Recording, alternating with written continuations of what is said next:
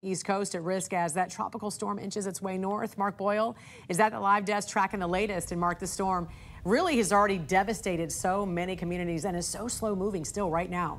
And it's causing major issues for millions across the country. A live look, Jen, right now at the National Desk radar. You see all of the alerts here behind me as Debby slowly moves up the eastern seaboard, unleashing life-threatening flooding. And those are the green alerts you see behind me. Millions are also under tornado threats. A closer look at that in just a moment. But breaking right now here at 831 on the East Coast, Debby's death toll now is up to eight.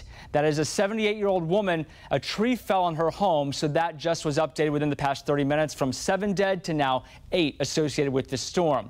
Also, a North Carolina homeowner was killed when a home collapsed on him during a tornado. Our national desk partners were in Greenville there when all of this happened, and uh, Roy Cooper, the governor, was touring a middle school devastated by the storm.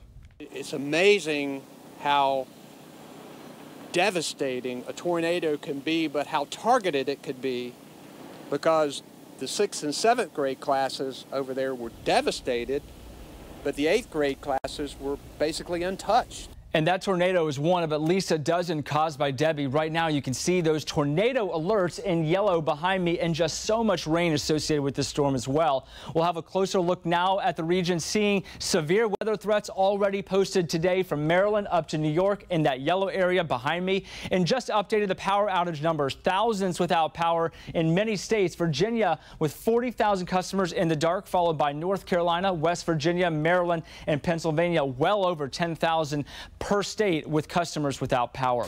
Another major threat this morning continues to be the heavy rain and then the heavy floodwaters with it. One dramatic rescue caught on camera. Take a look here. This is from the Raleigh area. Firefighters were able to get to three children stuck in rapidly rising, fast-moving water. Those kids are safe this morning. This is a live look. This is right now in Annapolis, Maryland. You can see how the water, see, a, it looks like a shop owner right there, possibly checking on his store.